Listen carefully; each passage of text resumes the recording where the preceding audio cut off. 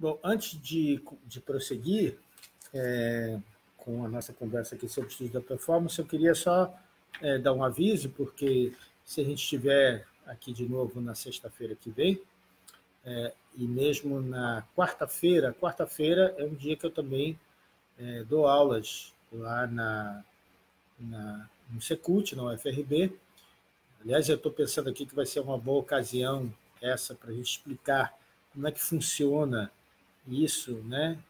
E desfazer essa essa lorota que contam aí de que a gente não trabalha, né? mostrar que a gente trabalha. Nossa, ontem eu fiquei o dia inteiro aqui alugado com milhões de coisas. Todas as vezes que dizem que a gente trabalha pouco, eu, eu acho engraçado, mas enfim. Mas vai ajudar a esclarecer isso, porque é, é, aí eu vou poder explicar na quarta-feira que vem também como funciona isso. Eu dou aula às quartas e sextas, lá no Secult, mas como a nossa atividade pressupõe é, ensino, pesquisa e extensão, né? Nós temos várias outras atividades além da atividade em sala de aula. Mas na quarta-feira eu dou uma um componente que se chama História e Teoria das Artes ao vivo. E eu quero muito construir a minha próxima aula aqui no Facebook, porque isso se ainda estiver rolando essa coisa do isolamento, que infelizmente eu acho que ainda vai estar, porque eu quero construir, porque é, é uma boa oportunidade também de falar sobre isso, falar sobre o ao vivo, que é outra questão fundamental para a performance também. E aí, é, mas eu queria já avisar que nas, nos próximos encontros como esse, eu não vou fazer mais, esse já é a primeira coisa que eu aprendi hoje, dando oficina de e movimento, é que não dá para você ficar o tempo da sala de aula não é o mesmo tempo da transmissão em vídeo. Então, eu notei, por exemplo, que a cada bloco que eu ponho no ar, entra um grupo de pessoas, às vezes diferente do grupo anterior. Às vezes a gente começa com muita gente, depois vai diminuindo, né? o que também acontece em sala de aula, mas enfim. É, mas é, eu observei que é um negócio exaustivo, sobretudo para mim é muito cansativo ficar tanto tempo falando para a câmera assim. Então, é, porque você, você não tem aquelas pausas, você não tem aquela interação com os alunos, você não tem aquele momento que o aluno te pergunta uma coisa, essa, aquela situação do debate que faz com que as horas passem e você nem perceba, que é o que frequentemente acontece comigo. Né? Eu nem percebo, quando eu vou ver, eu começo uma aula uma, uma da tarde, quando eu vou ver quatro horas, ainda nem, nem falei das coisas que eu tinha que falar e tal porque realmente é, tem aquele envolvimento humano, né? a copresença de todo mundo ali. E aqui não, aqui é um. Eu estou sentado aqui na minha sala com um, um, painel atrás de mim, com uma lâmpada, né? enfim, com coisas que, que são. que constroem uma outra situação completamente diferente.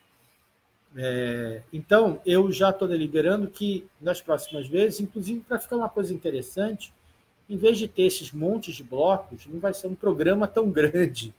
Né? Os programas vão diminuir. Eu estou com vontade de, para cada um desses componentes, alguns têm, como no caso do História e Teoria das Artes ao Vivo, ele começa a uma da tarde e termina às quatro, eh, às cinco horas da tarde, imaginem vocês, né? É muitas horas, são muitas horas, que em sala de aula é uma coisa, mas aqui, vai, aqui não pode ser assim. Então, eu, vou fazer, eu deliberei fazer tudo com duração no máximo de uma hora, uma hora e meia.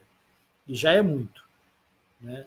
Então, tentar ser mais sintético e apresentar é, conjuntos de questões não tão abrangentes, mas que digam respeito àquilo que, que a gente está falando, que está na minha programação de curso, mas de forma um pouco mais pontual, né?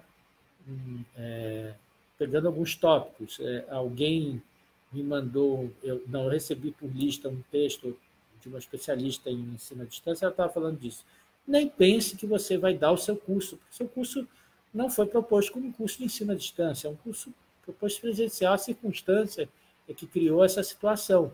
Então, o que você vai fazer vai ser oferecer um material didático a mais que o aluno pode usar não é, para colaborar né, nessa sua nesse seu aprendizado. Mas, evidentemente, isso não é, isso que eu disse desde o primeiro momento, isso aqui não está substituindo a minha aula. É, não, não substitui a aula, não, e, e não é uma tarefa, inclusive, obrigatória. Eu tenho dito aos alunos que eles não estão submetidos à chamada, nada disso. É, é, e eu estou também, ao mesmo tempo, na própria experiência, eu estou aprendendo com ela, né?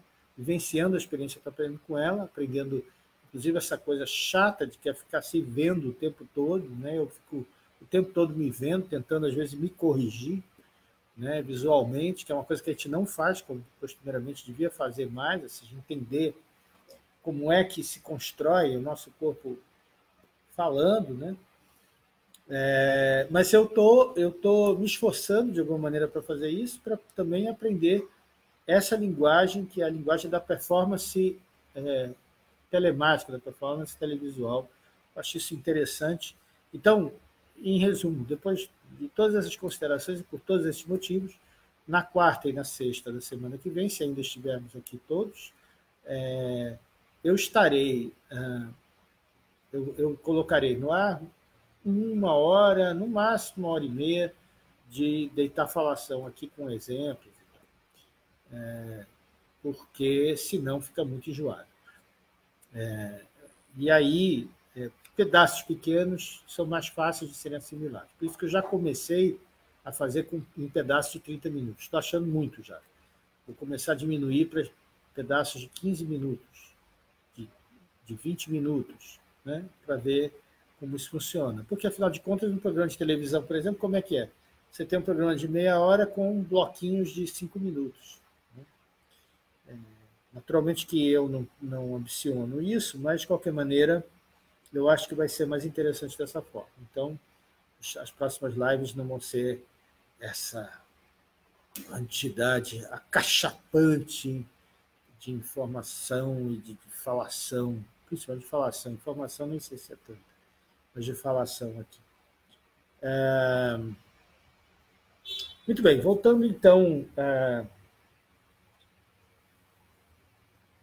a, a, a, ao texto do Carlson, é, num, num, trechinho mais adiante desse mesmo, é, dessa mesma página que eu estava lendo, ele diz assim: é, ainda é muito corrente esse uso artes performáticas, como também é a prática de denominar qualquer evento teatral específico, dança específica, evento musical de performance. Isso é a prática americana. Né? Ele, como autor é, estadunidense, ele, ele usa muito esse recurso, mas é engraçado que ele não atenta ou não chama atenção para essa questão do uso irônico da noção de performance pela arte da performance. Se mentalmente voltarmos ao momento antes dessa prática comum e perguntarmos o que faz as artes performáticas serem performáticas, eu imagino que a resposta sugerirá, de algum modo, que elas requerem a presença física de seres humanos treinados ou especializados, cuja demonstração de certa habilidade seja performance. Pois é mas também tem a presença de seres humanos não treinados ou não especializados e que fazem performance. Primeira observação. Segunda observação, essa é a questão da presença, que eu acho que é a questão que a gente vai falar depois, História e Teoria das Artes ao Vivo, que eu estou trabalhando a partir da ideia de produção de presença do Gumbrecht. Né? É, essa ideia de que a presença é que é a questão importante. E, por fim, é, é, elas requerem, é, as artes performáticas são performáticas, que a resposta sugeria de mundo que elas requerem a presença física de seres humanos. Né? É, na verdade é isso, a presença física é que é aquilo que responde por esse desejo, né? por essa vontade de performar. O Schechner, me parece, responde isso, o Richard Schechner, o outro autor com o qual a gente vai trabalhar aqui Eu pegar aqui é, para mostrar para o pessoal que ainda não viu, meus alunos que ainda não viram. E eu já tenho, já falei assim, meio por alto do Richard Sheckman, então deixa eu ver se eu consigo pegar ele aqui, se o livro estiver acessível. Vamos ficar aqui. Não. Peraí, onde é está o livro? Ué? Cadê o meu chefe? Ah, eu vi por um relance e depois desapareceu de novo. Não estou conseguindo vê-lo agora. O, o Richard Schechner tem um livro chamado Performance Studies. Aliás, a capa do Performance Studies é um pouco parecida com essa, usa mais ou menos as mesmas cores. Deixa eu, se eu botei ele aqui. Mas, de qualquer maneira, está aqui uma das traduções que existe. Depois aí, então, eu, se eu achar o, o cheque, engraçado, estava aqui, essas coisas que a gente não consegue enxergar, depois, quando a gente não quer mais, aparece. Mas, enfim, é, o Richard Schechner, é, algumas partes do livro dele foram traduzidas em português nesse livro aqui, Performance e Antropologia de Richard Schechner, foi organizado pelo Zeca Ligeiro, editora Mauad, lá do Rio de Janeiro, e, e os principais capítulos do Richard Schechner, isso inclusive que a gente vai usar aqui depois no, na nossa disciplina de estudos da performance, essa, esses esquemas do Schechner foram traduzidos, estão traduzidos aqui, nesse livro bem interessante. Os meus alunos, eu passo para eles parte desses, desses materiais. O Schechner, por exemplo, tem uma, um, um, esse livro dele que diz assim, o que é performar? O que é, que é performar? O que é fazer performance? É isso. Né? É, é essa corresponder a esse desejo de presença. Né?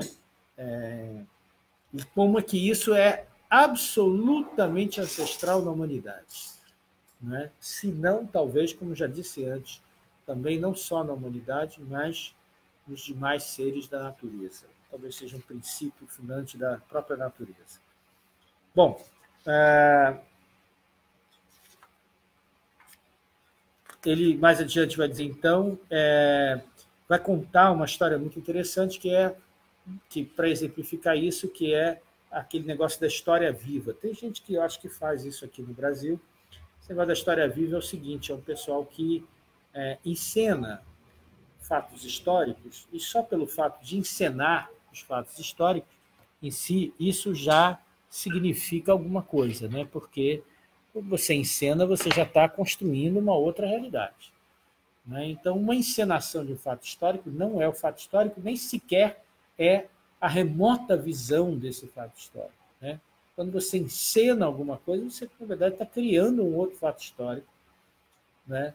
que tem pontos de contato com aquilo que você está encenando, mas já é completamente diferente. Então, suponha, por exemplo, que fizéssemos aqui em Cachoeira uma encenação da famosa batalha que teve aqui na 25, né, que recebe seu nome por causa disso, a batalha pela independência da Bahia, independência do Brasil, que se deu ali, naquela praça, né, em, no começo do século XIX, antes, né, em julho, antes que fosse, por assim dizer, proclamada a independência do Brasil por um príncipe português.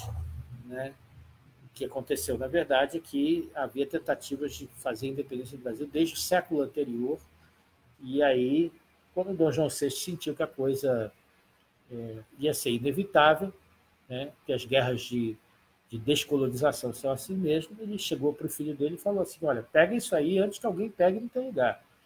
Né? Segura isso aí para você, você ter o seu reinado aí. Foi assim que Dom Pedro I se tornou Dom Pedro I. Né?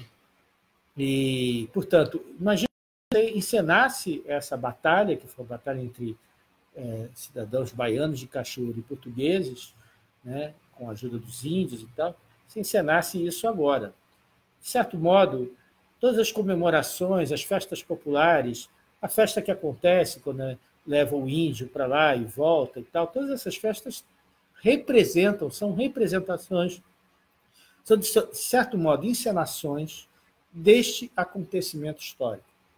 Então, isto são, o que, que são essas representações, essas encenações? São performances.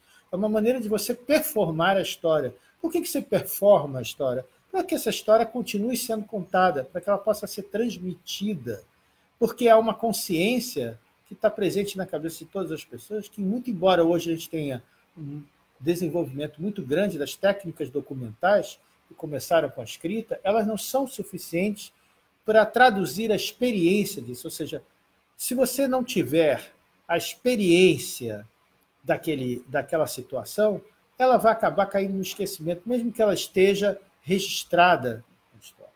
Né? É preciso que haja esses lugares da experiência. Os lugares da memória são também esses lugares da experiência.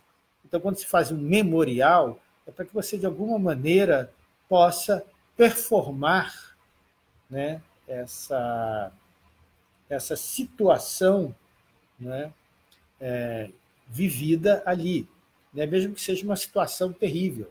Né? Ou seja, que você tenha é, pelo menos os vestígios daquela performance. Eu estou falando de situações como, por exemplo, quando você visita um campo de concentração, onde foram exterminadas milhares de pessoas. Quer dizer, aquele memorial está ali para não deixar as pessoas esquecerem que havia uma presença ali, né? e, e o que essas presenças sofreram.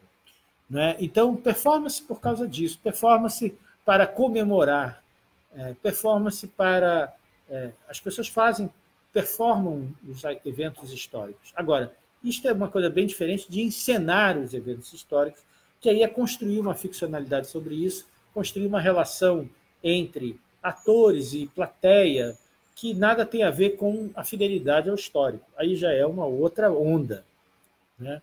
A onda é, da performance, enquanto criação artística, está, enquanto linguagem, está mais próxima dessa que nas comemorações, nos rituais, etc., do que propriamente uma encenação artística. Então, esse é o dilema que ele está colocando aqui, porque ele conta uma história de um grupo é, que fazia no norte da Califórnia, no Fort Ross, uma encenação do que era viver naquela época e tal. E aí o que aconteceu é que eles começaram a se preocupar com essa encenação, né, é, melhorar a performatividade dele, deles. É, é, e aí isso acabou fazendo com que eles uh, entrassem numa onda com aquilo, é, é, até tentando corrigir, dizer, questionando, não, mas não era assim que se fazia exatamente na época e tal. Esse é o dilema que muitas vezes também acontece com a, as leituras muito, é, no mau sentido, teatralizadas da, da, dos acontecimentos históricos e folclóricos, né? e, e, sobretudo, os rituais. E aí, porque nos rituais acaba aparecendo aquele cara que parece guardião do passado, diz assim: não, mas isso não era, isso não está correto, isso não era feito dessa maneira, mas como você pode saber se você não estava lá? Quer dizer, existe uma questão fundamental para a performance, que é a questão da presença. Né? A performance existe para os que estão presentes. Para os que não estão presentes, existe o remoto da performance, os relatos, os vestígios, os registros. Né? Não é que se impeça o acesso à performance, ou seja, que isso, isso efetivamente não é a performance, mas isso são fragmentos que permitem que você possa pensar em alguma dimensão na performance. Né? Ou seja, eles não são a performance, porque a performance é preciso que você esteja lá e presencie isso, ela requer essa, isso que a gente está chamando de produção de presença, mas ela produz uma infinidade, uma miríade de é, produtos semióticos, de signos, né? uma infinidade de é, é, fragmentos, estilhaços né? da, da sua ação, que são detonadores de outras ações também.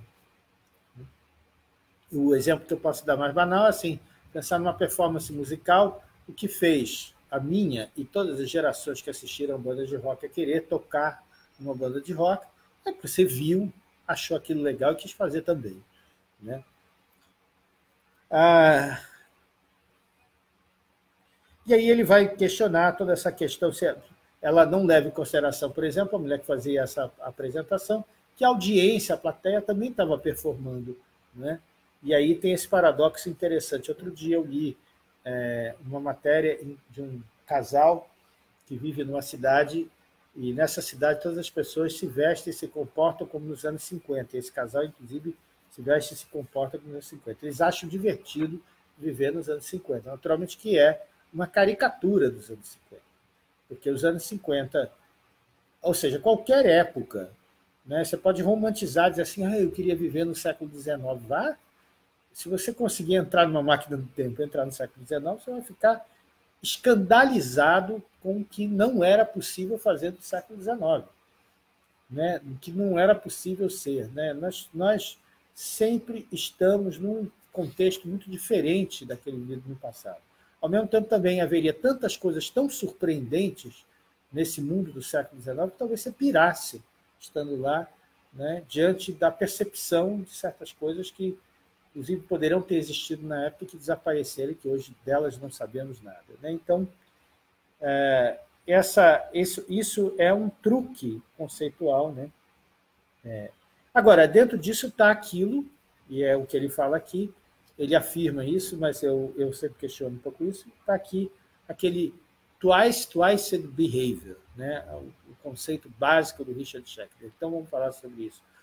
O que se chama, é, no Brasil, de comportamento restaurado. E alguns usam o termo comportamento recuperado, né? mas eu prefiro o, é, eu não gosto de nenhum desses termos, na verdade, porque restaurado parece que você está fazendo uma restauração de um prédio antigo. Né? É, recuperado também não é bom, porque parece que a coisa foi perdida lá atrás e agora você está recuperando. O que, que seria esse comportamento restaurado ou recuperado? Na verdade, não é nem uma coisa nem outra. É um comportamento, é uma, uma ação que você faz é, com base naquilo que você julga que era o padrão de se fazer aquela ação antes. Trocando em miúdos mais simples. É quando, como você representa. Isso é, na nossa tradição ocidental, nós temos, nós aprendemos um estratagema mental que consiste na representação. Supõe-se que exista um objeto que esse objeto possa ser reproduzido através de uma estratégia de representação daquele objeto. Então, falando em termos muito simples, eu digo assim, por exemplo, olha, gente, eu vou explicar para vocês o que é o elefante. O elefante é um bicho assim, grande, cinza, que tem uma tromba, tem as orelhas grandes e tal, parece isso, parece aquilo, tá, por várias estratégias aproximativas, usando elementos da linguagem verbal, você vai construindo na cabeça da pessoa que nunca viu o elefante que ela acha que é um elefante. Isso é ah, tido e havido na tradição ocidental como nec plus ultra, o máximo, o sensacional, a maior invenção né, da tradição ocidental consiste justamente em construir um espaço de representação do mundo. Pois bem, é, o Richard Schachner diz que isso é o elemento central da performance. Quer dizer, o que a performance faz é fazer de novo o que alguém já fez, né, ou que esteja previsto numa peça de teatro, assim, um personagem, por exemplo, um personagem fazer. Né? Ou seja, ela seria isso que o, o Carlson diz aqui, né? Fingir ser alguém diferente do que de fato se é constitui um exemplo comum de um tipo especial de comportamento humano que Richard Schechner rotula de comportamento restaurado, título sob o qual ele agrupa ações conscientemente separadas da pessoa que as executa teatro ou outros papéis lúdicos. Isso é interessante porque no teatro a gente entende que isso é um, uma tentativa de fazer um personagem, né? fingir sem alguém diferente. Mas, por exemplo, quando você fala de um xamã, de um ritual, né? ele não está fingindo ser alguém diferente do que ele é. E aí é que está o problema. Porque essas traduções acabam, e essas, essas leituras acabam esquecendo-se desse detalhe. Porque quando o xamã ou o pajé, por exemplo, ingere uma planta ou fuma uma planta, ele está tendo contato com a sabedoria que aquele, aquela planta está oferecendo para ele, para que ele possa, então, ir ao encontro dos deuses, das entidades que, com, com as quais ele quer se conectar. Né?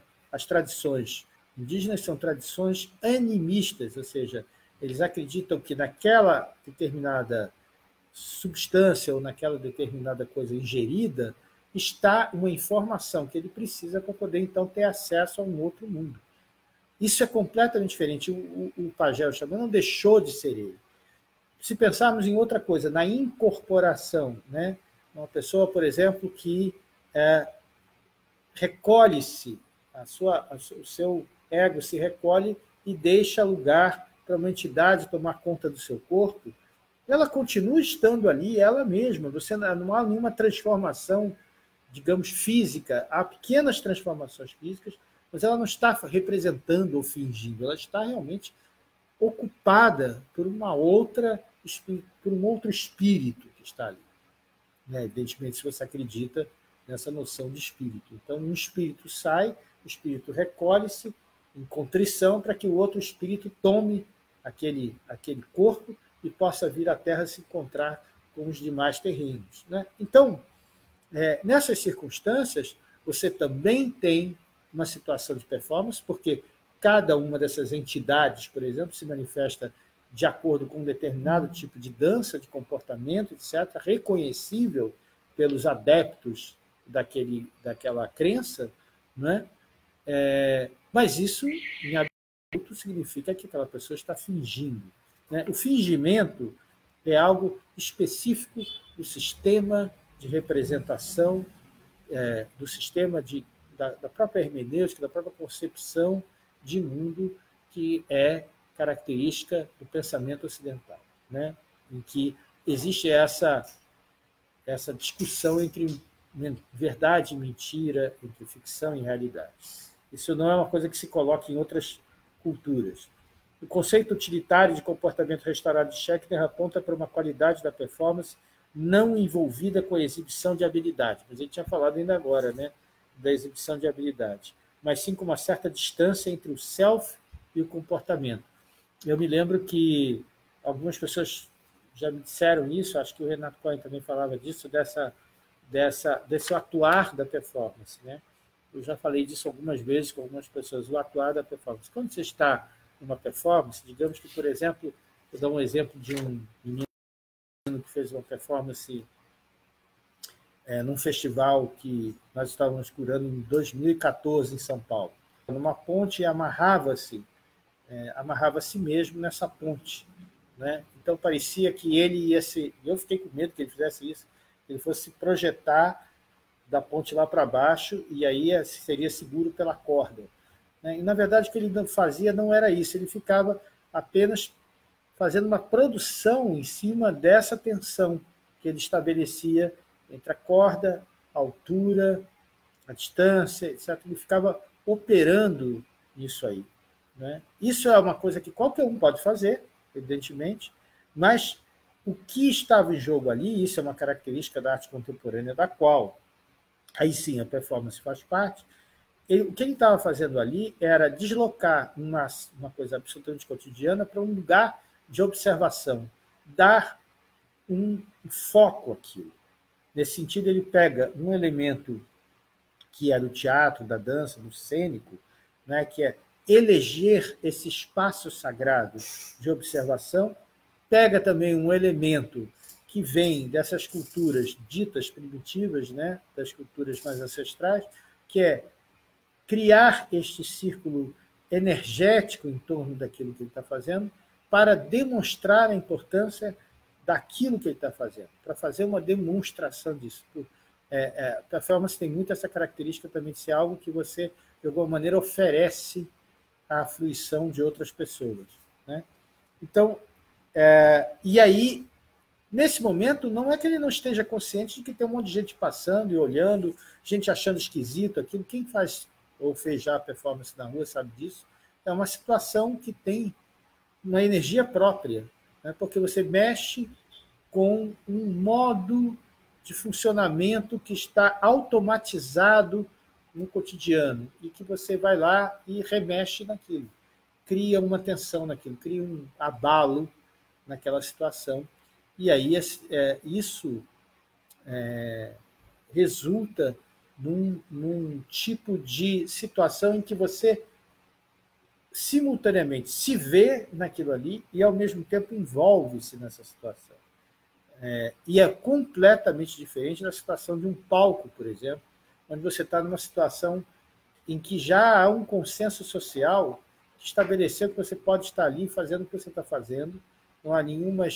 Há estranhezas, mas é, sabe-se que ali você está num lugar que é um lugar já previsto né, para a produção daquela ação. É, então, eu vou interromper aqui para passar para o próximo bloco.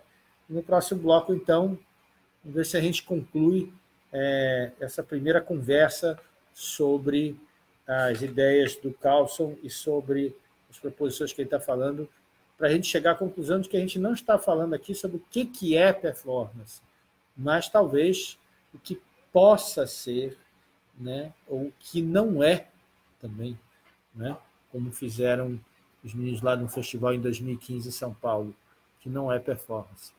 Já volto já.